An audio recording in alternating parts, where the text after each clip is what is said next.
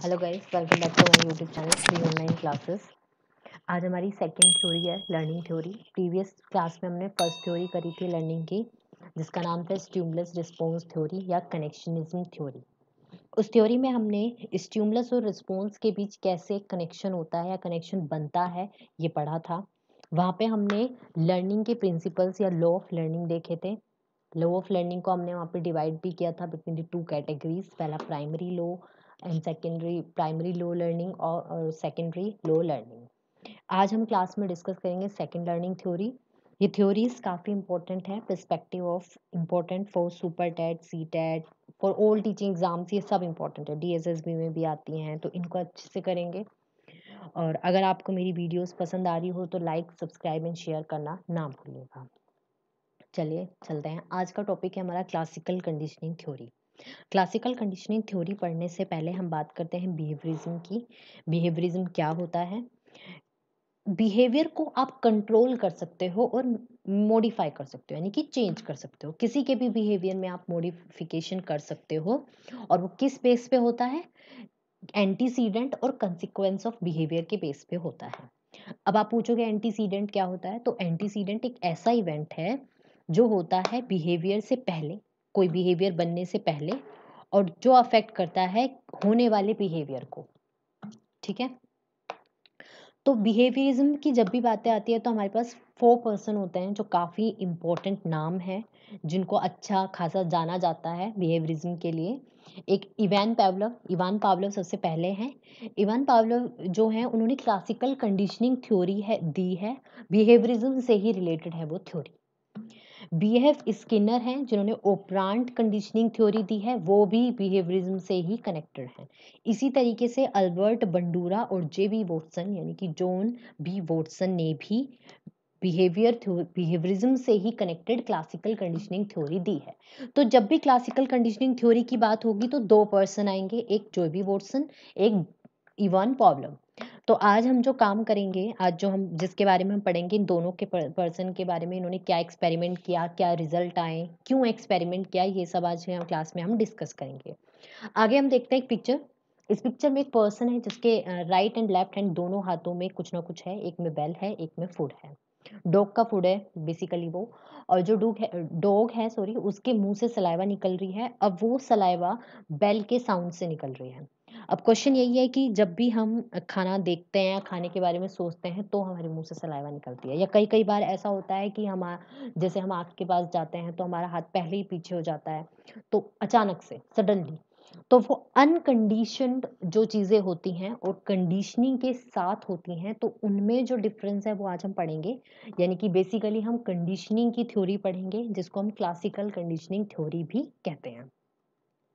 तो इवान पैवलव जैसे कि मैंने बताया, इन्होंने एक बात बोली थी कि कभी भी फैक्ट्स के रिकॉर्डर ना बने मेयर रिकॉर्डर ना बने, बल्कि ट्राई करें कि आप मिस्ट्री को निकाल सके उसके ओरिजिन की, कैसे उसका ओरिजिन हुआ है। और ये इसका सबसे बड़ा एग्जांपल मैं आपको दे सकती हूँ इस कोर्ट का, जैसे कि आजकल के लोग वायरल वीडियोस को ज़्यादा वायरल वीडियोस को ज़्यादा प्रमोट करते हैं, देखते हैं वायरल वीडियो को सच मान लेते हैं। वो इसलिए होता है क्योंकि वो जानना ही नहीं चाहते कि इस वायरल वीडियो का सच क्या है, कहाँ से इसका ओरिजिन हुआ है, क्या इसकी मिस्ट्री है। वो सिर्फ़ एक उसके मेयर रिकॉर्डर बन जाते हैं, जैसे कि इवान पैबलम ने कहा था। नेक्स्ट हम इवान पैबलम का जन्म कब हुआ है देख लेते हैं। 21 सितंबर 1849 को उनका जन्म हुआ था और उनकी मृत्यु हुई थी 27 फरवरी 1936 को। इवान पैवलोव एक रसियन फिजियोलॉजिस्ट थे, वो साइकोलॉजिस्ट नहीं थे, वो एक फिजियोलॉजिस्ट थे। उनका जो एक्सपेरिमेंट था, वो इसी बेस पे हुआ था कि इवान पैवलव ने यही सोचा था कि वो डॉग का डाइजेस्टिव सिस्टम देखेंगे क्योंकि वो फिजियोलॉजिस्ट थे। लेकिन कहीं ना कहीं वो ऑटोमेटिकली साइकोलॉजिस्ट बन गए ऑन द बेसिस ऑफ़ उनके एक्सपेरिमेंट पे। तो देख लेते हैं, उन्होंने क्लासिकल कंडीशनिंग थ्योरी को बनाया प्रोपाउंड किया। फाउंडर हैं वो क्लासिकल कंडीशनिंग थ्योरी के और उनका जो एक्सपेरिमेंट है वो डॉग पे है। अब हम देख लेते हैं क्लासिकल कंडीशनिंग होती क्या है। ये एक टाइप की लर्निंग ही है, जिसके अंदर एक न्यूट्रल स्ट्यूमुलस लाया जाता है ताकि एक रिस्पॉन्स आए। किसके बाद? उसको पेयर करने के बाद नेचुरल स्ट्यूमुलस के साथ उसको पेयर करके फिर ऐसा रिस्पॉन्स लेकर आया जाता है। तो यहाँ पे कंडीशनिंग बनाई जाती है between the natural stimulus and neutral stimulus neutral stimulus को आप आर्टिफिशियल स्ट्यूमलस भी बोलते हो, जिससे नेचुरली कोई रिस्पॉन्स नहीं आता है। लेकिन जब उसकी कंडीशनिंग कर दी जाती है अनकंडीशन रिस्पॉन्स स्ट्यूमलस के साथ, तब उसका रिस्पॉन्स आने लगता है। जैसे अब हम डिस्कस कर लेते हैं क्या है न्यूट्रल स्ट्यूमलस और क्या है अनकंडीशन स्ट्यूमलस जैसे कि मैंने बताया न्यूट्रल स्ट्यूमलस को हम आर्टिफिशियल स्ट्यूमलस भी बोलते हैं। ये स्ट्यूमलस नेचुरली कोई भी रिस्पॉन्स नहीं लेकर आता है। अनकंडीशन स्ट्यूमलस वो स्ट्यूमलस होता है जो नेचुरली ही एक रिस्पॉन्स लेकर आ जाए।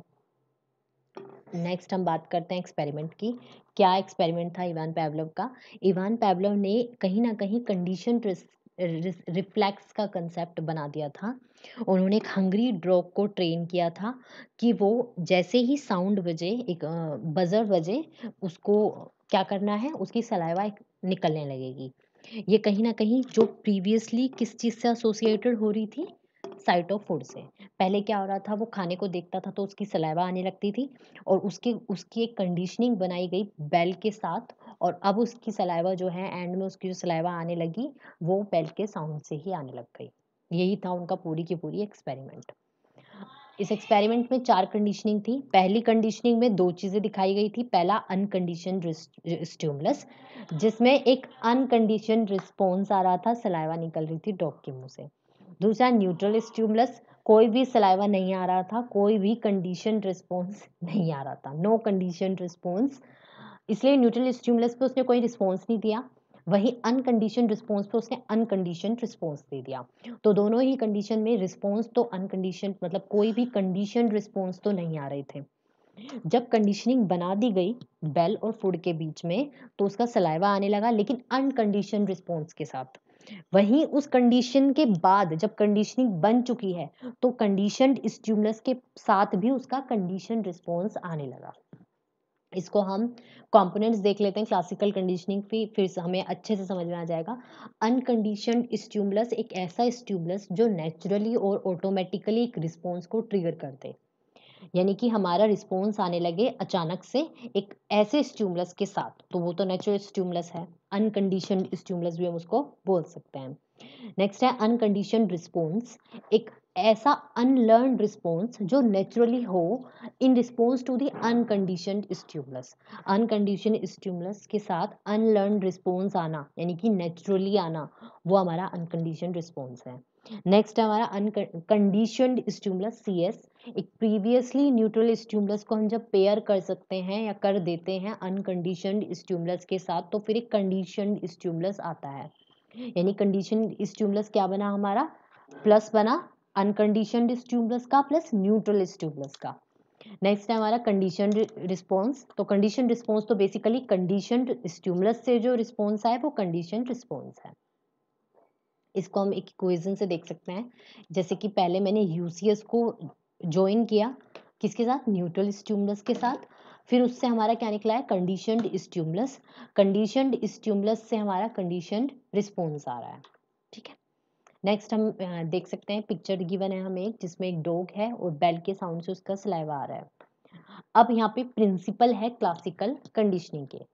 क्या होते हैं प्रिंसिपल्स ऑफ़ क्लासिकल कंडीशनिंग कि जब भी क्लासिकल कंडीशनिंग होगी, इन कंडीशंस में ही होगी। क्लासिकल कंडीशनिंग को होने के लिए ये चीज़ें ज़रूरी हैं। अब अच्छे से देख लेते हैं क्या है प्रिंसिपल ऑफ़ क्लासिकल कंडीशनिंग और क्या कहते हैं ये प्रिंसिपल तो सबसे पहला है एक्विजिशन एक्विजिशन क्लासिकल कंडीशनिंग या फिर stage of initial stage of learning होती है। जब एक रिस्पॉन्स पहली बार इस्टेब्लिश होता है किसी स्ट्यूमलस के साथ तो वो हमारे एक्विजिशन में आ जाता है। जैसे कि हम लर्निंग लर्निंग और एक्विजिशन में फ़र्क होता है। जब नेचुरली हम कोई चीज़ करते हैं तो एक्विजिशन में आता है। जैसे कि बच्चे हैं, वो अपने एनवायरनमेंट से एक्विजिशन ही होता है। उनको जो मातृभाषा होती है, हमारी मदर लैंग्वेज होती है, वो एक्विजिशन में ही आती है रेदर देन लर्निंग उसको हम सीखते नहीं हैं। नेक्स्ट है, हम बात कर लेते हैं अपनी एक्सटिंक्शन के बारे में, क्या होती है एक्सटिंक्शन एक्सटिंक्शन तब होती है जब एक कंडीशन रिस्पॉन्स घटने लगता है। कंडीशन रिस्पॉन्स घटने लगता है। अब कंडीशन रिस्पॉन्स कब आ रहा था हमारा? जब कंडीशन कंडीशन स्ट्यूमलस प्रेजेंट किया जा रहा था। तो जब वो घटने लगे क्लासिकल कंडीशनिंग में क्या होता है? एक कंडीशन रिस्पॉन्स जो कंडीशन स्ट्यूमुलस ज़्यादा टाइम तक अनकंडीशनड स्ट्यूमुलस के साथ पेयर नहीं हो सकता। आप पेयर कर रहे हो। एक एक पर्टिकुलर टाइम पे जाके भी अगर हम इस थ्योरी को पढ़े तो बेल का जो साउंड है, वो डॉग की सलाइवा को रोक देगा। एक पॉइंट पे जाके, क्योंकि हम फिक्स नहीं कर सकते इस चीज़ को। नेक्स्ट है हमारा स्पॉन्टियस रिकवरी कभी कभी क्या होता है, जब हम कोई लर्न रिस्पॉन्स जैसे कि मैंने रिस्पॉन्स सीख लिया कंडीशन रिस्पॉन्स सीख लिया कि इस स्टिमुलस पे मुझे ये रिस्पॉन्स करना है तो वो सडनली क्या होने लगता है रीमर्ज होने लगता है। जैसे कि एक्सटिशन एक्सटिंक्शन का पीरियड चल रहा है। अब मुझे क्या हो रहा है? वो जो मेरा कंडीशन रिस्पॉन्स था, वो ख़त्म होने लगा है। तो उस पीरियड में ही मेरी रिकवरी होनी चालू हो जाती है। स्पॉन्टियस रिकवरी उसको बोलते हैं। जब आपकी कंडीशन रिस्पॉन्स का जो रीअपेयरेंस होता है, वो ख़त्म होने लगता है और आपके जो रिस्पॉन्स है, वो उस पीरियड से धीरे धीरे धीरे धीरे कम होते चले जाते हैं। यानी कि पहले आपने कंडीशनिंग बनाई, फिर उसी कंडीशनिंग का धीरे धीरे धीरे धीरे ख़त्म होना भी चालू हो जाता है। नेक्स्ट हम बात कर लेते हैं जैसे कि इस स्पॉन्टियस रिकवरी का मैं एक एग्जांपल बता देती हूँ। आपने एक डॉग को ट्रे, ट्रेन तो कर दिया कि वो जैसे ही साउंड बजेगा, बैल का वो क्या करने लगेगा? सलाइवा उसके मुँह से निकलने लगेगी। आप उसको रोक मतलब यू स्टॉप री द बिहेवियर आपने क्या किया? उसके बिहेवियर को स्टॉप करने की कोशिश करी, जहाँ वो खाने के बारे में सोच के और खाने को देख कर सलाइवा निकाल रहा था, या निकल रही थी उसके मुँह से। अब क्या हो रहा है? अब आपने उसको कहीं ना कहीं उसके बीच में कंडीशनिंग बाँध दी है कि वो बैल के साउंड से सलाइवा उसके मुँह से निकलेगा। और वो निकल भी रही है। लेकिन एक पीरियड पर जाके क्या होता है? जहाँ पे कंडीशन स्ट्यूमलस प्रेजेंट नहीं होगा तो वो क्या करेगा? You suddenly ring the bell and the animal spontaneously recovery the previous learn response तो उसको क्या होगा? प्रीवियसली लर्न रिस्पॉन्स को वो भूल जाएगा। After rest period during which the condition stimulus present नहीं है but you suddenly ring the bell आपने कंडीशन स्टिमुलस रिप्रेजेंट किया था। जैसे कि आपने क्या बनाया था? आपने बेल और फ़ूड को साथ में कंबाइन कर दिया, वो कंडीशन स्टिमुलस हो गया था। अब आपने कंडीशन स्टिमुलस हटा दिया है तो वो स्पॉन्टियस रिकवरी है। अब वो क्या कर रहा है? अब वो सिर्फ़ बेल के साउंड से भी रिस्पॉन्स दे रहा है। तो कंडीशन स्टिमुलस तो नहीं रहा ना? तो उसने क्या किया? अब वो लर्न जो उसने प्रीवियसली लर्न रिस्पॉन्स सीखे थे, वो उनको नहीं समझ पा रहा है। नेक्स्ट है स्ट्यूमुलस जनरलाइजेशन क्या होता है स्ट्यूमुलस जनरलाइजेशन एक टेंडेंसी होती है जहाँ पे कंडीशन स्ट्यूमुलस को इवोक किया जाता है सिमिलर रिस्पॉन्सेस के साथ। जो रिस्पॉन्स पहले किसके साथ बनाए गए थे? कंडीशनिंग के साथ बनाए थे या कंडीशनड किए गए थे। इसको भी आप एग्ज़ाम्पल से समझ सकते हो, जैसे कि एक डॉग है, उसको कंडीशनड कर दिया गया है कि वो साउंड बेल के साउंड पे सलाइवा मतलब उसके मुँह से सलाइवा निकलेगी बेल के साउंड पे। अब एनिमल क्या करता है? वो क्या करता है? सेम रिस्पॉन्स देता है। That are similar to the condition stimulus है ना? अब होता क्या है स्टिमुलस जनरलाइजेशन में पहले क्या हो रहा था बेल बज रही थी साउंड आ रहा था, उसके मुँह से सलावा निकल रहा था। कई बार क्या होता है कि वो किसी भी काइंड का साउंड सुनता है, बाहर से ट्रेन जा रही है, उसका साउंड सुन रहा है तो उसके मुँह से सलावा निकल रहा है, क्योंकि उस पर्टिकुलर टाइम पे उसने क्या कर लिया था जनरलाइजेशन किया था कि जब भी कोई साउंड आएगा, जब भी मुझे खाना रिप्रेजेंट होगा। अब वो बेल को भी देख रहा था, लेकिन कहीं ना कहीं उसके दिमाग में जो कंडीशनिंग बन रही थी, वो साउंड के साथ बन रही थी। ठीक है? नेक्स्ट हम बात कर लेते हैं डिस्क्रिमिनेशन की।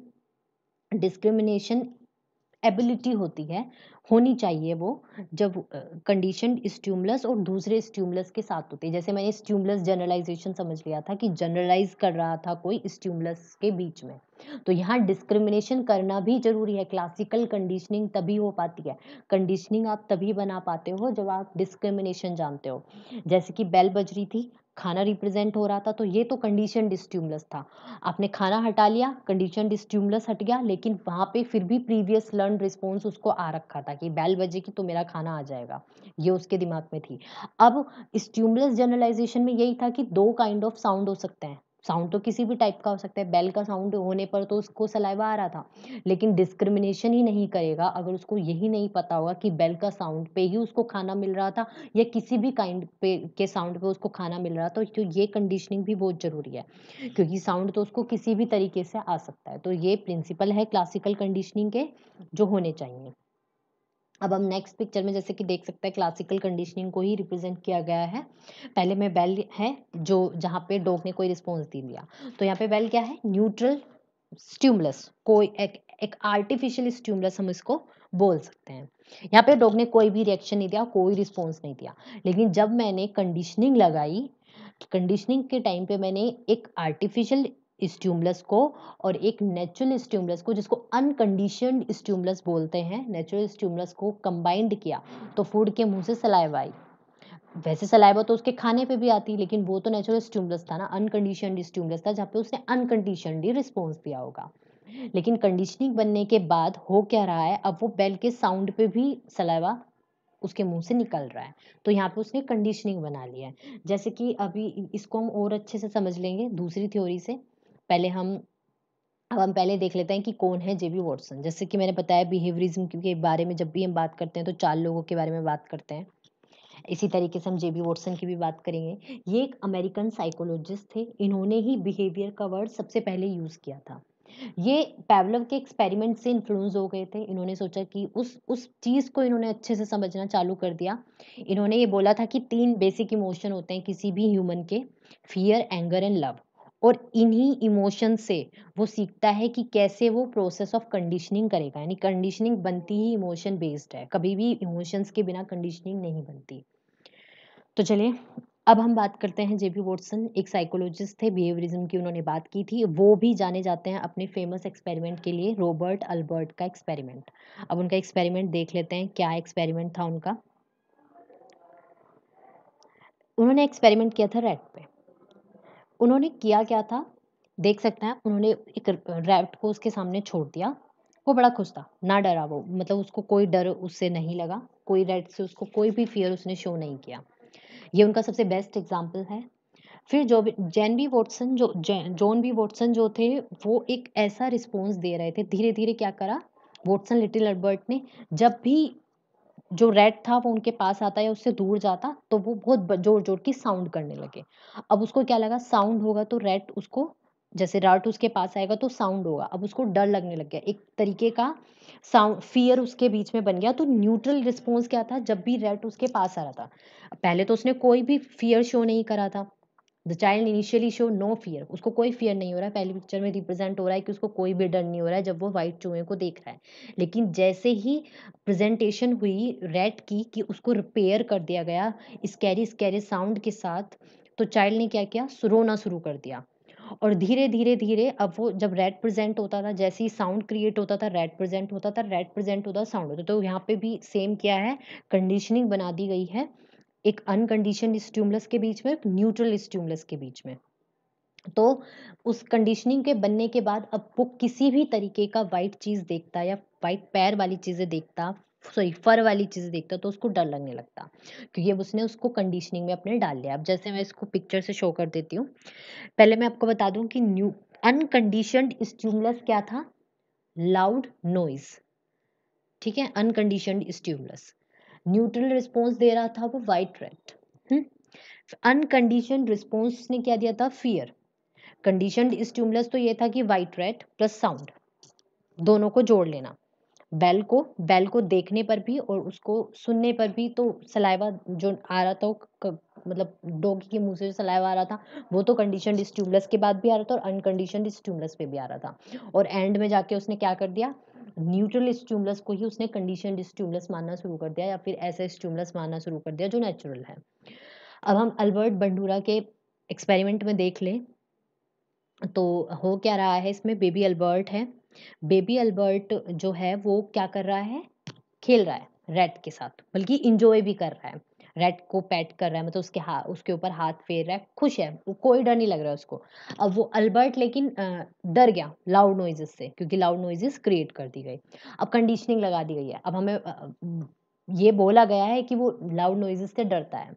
जब कंडीशनिंग लगाई गई तो अल्बर्ट ने क्या किया ट्राई किया, जैसे ही वो जाता पैट के पास या उसके पास जाने की कोशिश करता रेड को छूने की कोशिश करता तो Watson would make a loud voice Watson ने क्या करना शुरू कर दिया? ज़ोर ज़ोर की आवाज़ें करनी शुरू कर दी। इससे अल्बर्ट को डर लगने लग गया।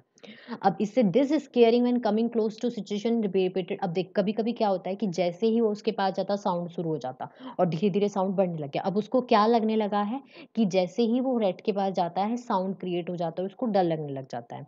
फिर भी अच्छे से बता देती हूँ कि उन्होंने किया क्या था। उसको कोई फियर नहीं था वाइट रेड से, लेकिन एक ऐसा एनवायरनमेंट बना दिया गया, उसको साउंड क्रिएट कर दिए गए कि उसको उससे डरने लगा, डर लगने लगा।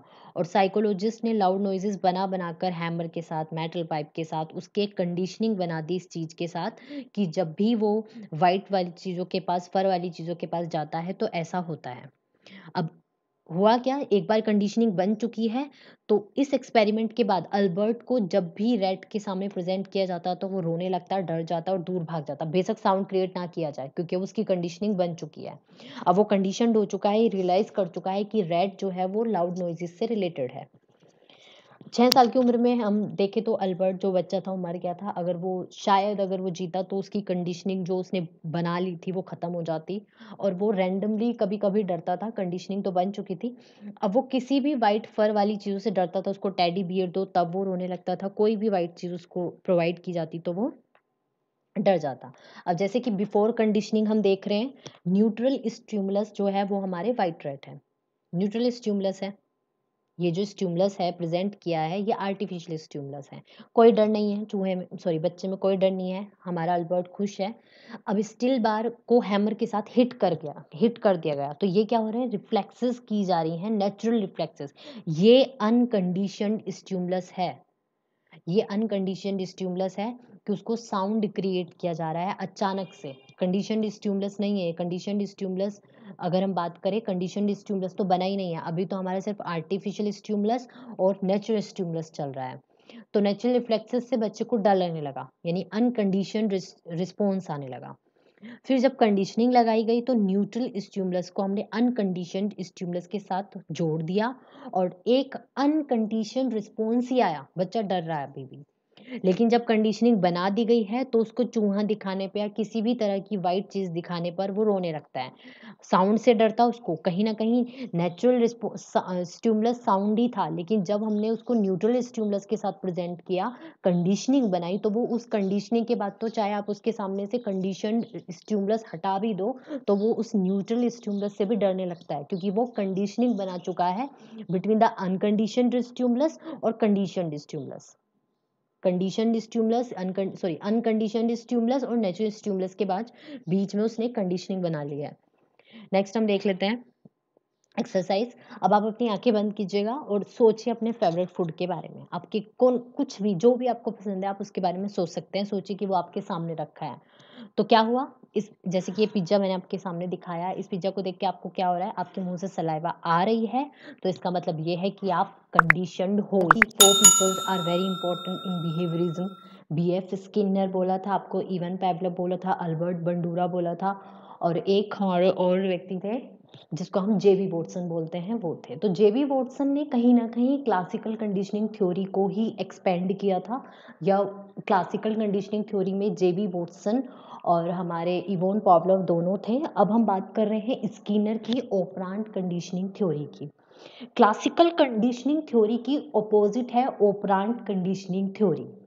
वहाँ पे आप एक कंडीशनिंग बना रहे थे between the stimulus and response तो होता तो वहाँ पर भी हर थ्योरी की लर्निंग थ्योरी की तरह, जैसे ट्रायल एंड एरर थ्योरी थी स्ट्यूमुलस रिस्पॉन्स थ्योरी थी, एक कनेक्शन बनता था between the stimulus and response आपको स्ट्यूमुलस प्रेजेंट किया जाता था ताकि आप इजिली रिस्पॉन्स दे पाए और आपको जो भी आपका ऑब्जेक्टिव है वो अचीव हो जाए। लेकिन ओपरांट कंडीशनिंग थ्योरी में अब तक की जितनी भी थ्योरी अगर हमने पढ़ी है तो उसमें यही देखा है कि आपको कुछ स्ट्यूमलस प्रोवाइड किया जा रहा है सो so दैट आपको वो मिल जाए ऑटोमेटिकली आपको रिस्पॉन्स करें आप। लेकिन ओपरान कंडीशनिंग थ्योरी में ऐसा नहीं है। यहाँ पे आप पहले रिस्पॉन्स करोगे, फिर आपको स्ट्यूमलस रिप्रेजेंट होगा, उसके बाद आपकी कंडीशनिंग होगी, या कंडीशनिंग होने के बाद आपका ऑब्जेक्टिव अचीव होगा। इसलिए इसको ओपरांट कंडीशनिंग थ्योरी बोला गया है। क्योंकि इस पूरी स्किनर की जो थ्योरी है ओपरांट कंडीशनिंग थ्योरी इसमें जो एक्सपेरिमेंट है, वो चूहे पे है रेट पे इसलिए जो ऊपर पिक्चर है, वो उनके एक्सपेरिमेंट से ही ली गई है। इसमें हम देख सकते हैं चूहा है जो एक बॉक्स में बंद है। उस बॉक्स में उसको शॉक भी मिलता है। जनरेटर लगा हुआ है तो बेसिकली एक इलेक्ट्रिकल ग्रीड है। फ़ूड का कप है। डिस्पेंसर की ट्यूब है। पैलेट डिस्पेंसर है और एक स्पीकर भी है सिग्नल की लाइट्स हैं एंड लेवर है, ठीक है? अब ज़ाहिर सी बात है, हम ये समझ सकते हैं कि कहीं ना कहीं उसको शौक भी मिलेगा और कहीं ना कहीं उसको खाना भी मिलेगा। और लेवर पे पैर पड़ने पर ही, जैसे कि ट्रायल एंड एरर थ्योरी में था और डॉग वाले में कंडीशनिंग बनाई गई थी बट वहाँ पे कोई ऑपरेशन नहीं था। बस ये था कि जब भी डॉग कैसे रिएक्शंस देगा मतलब बेल की वॉइस सुनकर या अपने स्ट्यूमलस को देखकर कैसे एक्टिविटीज़ कर रहा था, वो देखा जा रहा था। यहाँ पे हमें पिक्चर से जितना पता चला है, अभी तक तो यही पता चला है। नेक्स्ट हम देख लेते हैं ओपरांट कंडीशनिंग थ्योरी के फाउंडर है B F Skinner B F Skinner बहुत इंपॉर्टेंट है क्योंकि कई क्वेश्चंस में आ जाता है कि स्कीनर कौन थे? बी एफ़ स्कीनर बिहेवियरिज्म से रिलेटेड थे, पूछा जा सकता है। और बी एफ़ स्कीनर बिहेवियरिज्म के साथ साथ अगर हम देखें तो ओपरांट कंडीशनिंग थ्योरी उन्होंने ही दी है। उनकी थ्योरी के एक नहीं, कई नाम थे, जैसे कि ओपरांट कंडीशनिंग थ्योरी नाम तो इसका एक है ही। दूसरा नाम है इसका स्ट्यूमुलस रिस्पॉन्स थ्योरी नहीं response stimulus theory stimulus response theory trial and error theory से में थी।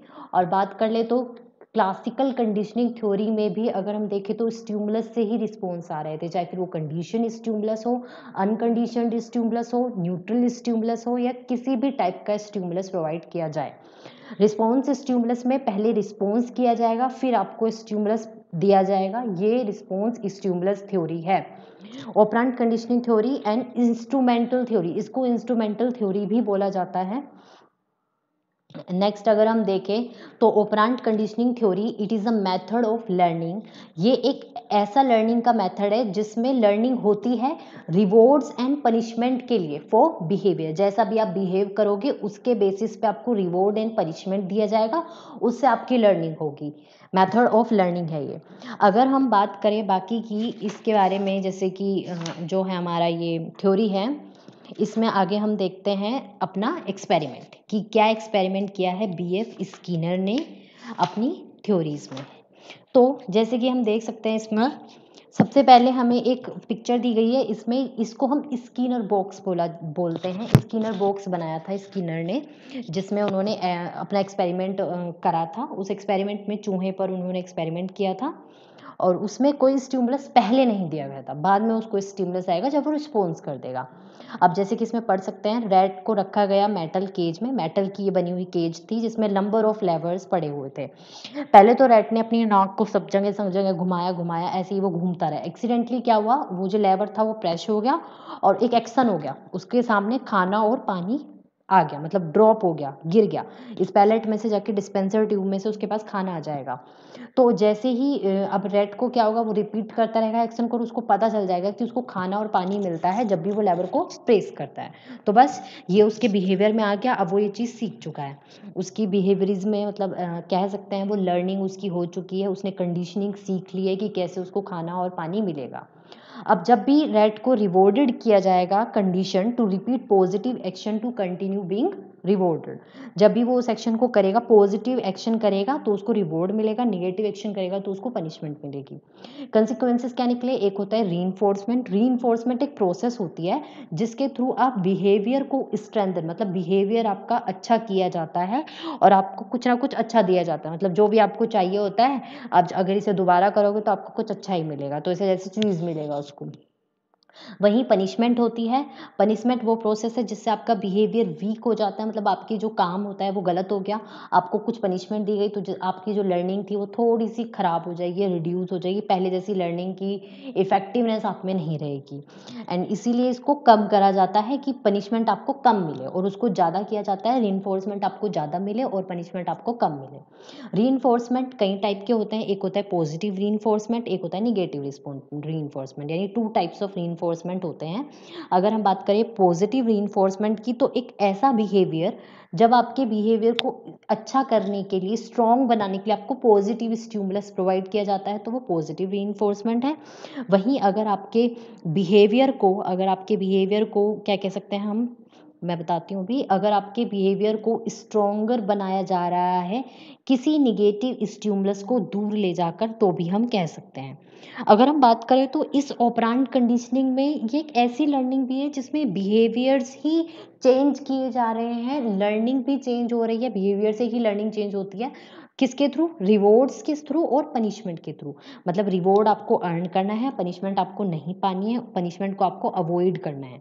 इसी के तरीके से आप सीख सकते हैं। एग्ज़ाम्पल दे सकती हूँ मैं आपको ऑपरांत कंडीशनिंग थ्योरी का, जैसे कि आप अपने एक बच्चा है, आप उसको एक री कर रहे हो, जैसे आप उसको ट्रीट दोगे।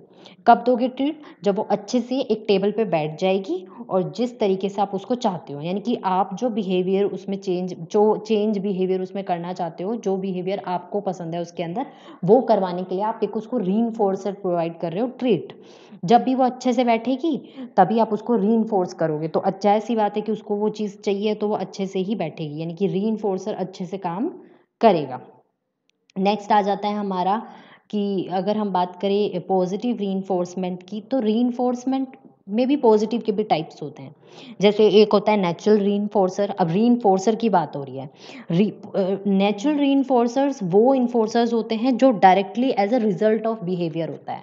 आपने कुछ किया और आपको रिज़ल्ट मिल गया। जैसे कि आप पेपर में अच्छे से पढ़ रहे हो स्टडी हार्ड कर रहे हो मतलब हर क्लास में भी पूरी अटेंशन पे कर रहे हो, अपना काम अच्छे से करते हो तो आप क्या होगे? आप एक्सीलेंट ग्रेड से पास हो जाओगे। तो एक नेचुरल री है जो अपने आप होता है नेचुरली होता है, किसी की आपको ज़रूरत नहीं है। एक होता है टोकन री token re reinforcers are points or tokens that are वो tokens are those tokens that are rewarded for performing certain actions. आप कुछ कर रहे हो, आपको तब कुछ दिया जा रहा है तो ये टोकन री होते हैं। ये टोकन्स आपसे एक्सचेंज भी किए जा सकते हैं समथिंग फॉर दी वैल्यूज़ आप जैसे जैसे एक्टिविटीज़ बढ़ाओगे जैसे जैसे रिड्यूस करोगे, उस बेसिस पे आपको री मिलेगा। मतलब आपको कुछ अच्छा दिया जाएगा। एक होता है सोशल री सोशल री में जब होता है, जब आपके बिहेवियर के लिए आपको अप्रूवल मिले आपको दूसरों के द्वारा मतलब अप्रेज किया जाए, आपको बोला जाए, लिखा जाए कि आपने अच्छा काम किया, आपका बहुत ही अच्छा काम है तो ये सब आपके सोशल री होते हैं। पॉजिटिव री के टाइप कर रहे हैं हम।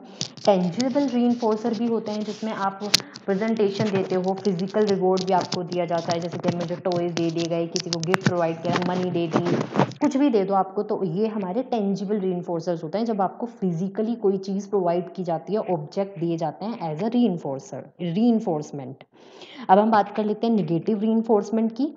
री निगेटिव री तब होता है जब आपके बिहेवियर को स्ट्रॉन्ग किया जाता है, आपसे कोई निगेटिव स्ट्यूमुलस दूर ले जाके।